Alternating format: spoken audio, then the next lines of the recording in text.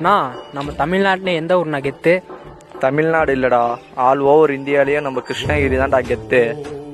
எப்படி நான் சொல்ற?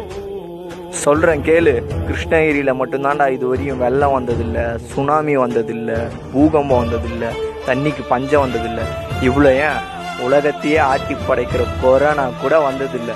இப்போ சொல்லு எந்த ஊருக்கு கெத்து?